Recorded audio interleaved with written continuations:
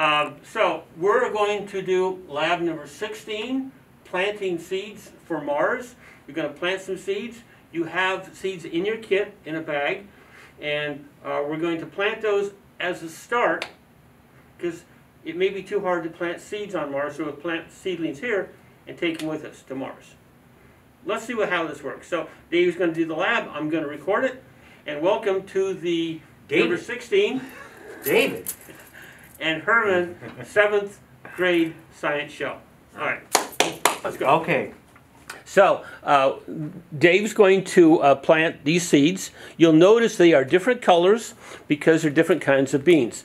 Um, you probably have some of these in your kitchen, and we're going to plant them uh, in a very uh, non soil method with a paper towel. So, take the seeds out of your bag, put them aside, find a paper towel, any kind of paper towel, preferably uh, a light color, uh, white or yellow or tan, and, and put the towel in the baggie that the seeds came out of.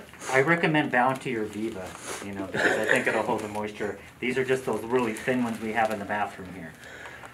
Okay? So you want to put enough water to let the seeds grow. Too much water, they're going to gr- uh, they're going to drown, and you'll end up with some kind of bean refried thing. It's going to stink terribly. So uh, put uh, five milliliters. You get your graduated cylinder, get your beaker. We're looking for only five at the most. At the most, five milliliters of water. Anything more than Ooh, I went way over pour it back, and at the most, even maybe less than five, and over a period of a week or two, we might want to add water as it gets dry or not. You see, you're the scientist here carefully measuring. Well, and I can't see very well either, so eat your carrots, guys. All right. So five milliliters of water.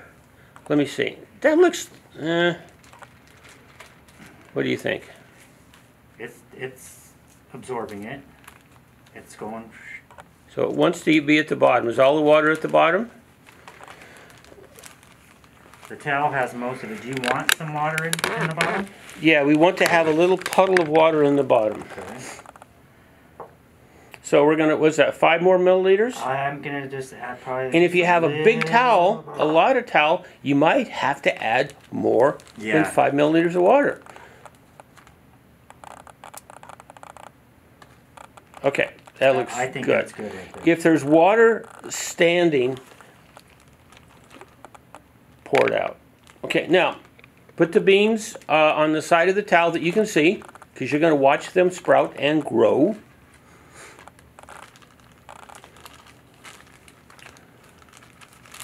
Farmer Dave here is planting his crops for next year. And I'm thinking of like a bean and cheese burrito, and my stomach's growling. All right.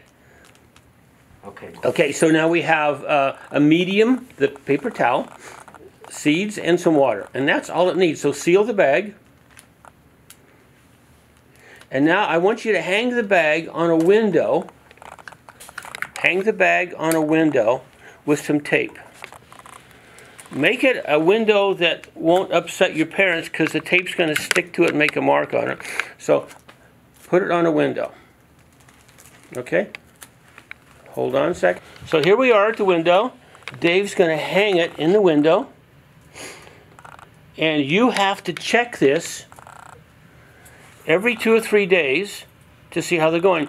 If the towel gets dry, add just like three milliliters of water. Use your graduated cylinder to be accurate. And add three milliliters of water if the towel gets wet.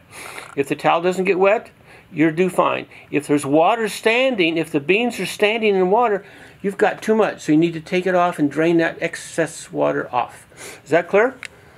Got it. So, Dave, while you're there, why don't you show us the results of our algae farm up against the light? So these are our algae farms. You notice that uh, one's slightly greener than the other. The, the one the Colonel made is more green, and he pointed that out to me. He pointed that out to me a couple of times, that his algae farm is doing better than my algae And why would that be? Maybe after we practice, we got better at it. Maybe it's got less water in it. Okay? So, uh, I want you to check your beans every three or four days until they sprout. And then when they sprout, you can just kind of take them off and throw them away. But write a report, write down what you've noticed, the length of the, uh, which ones sprout first, which ones sprout second, and which ones sprout third. Okay? Anything else, Dave? That's good. All right, that's a cut. That's a wrap.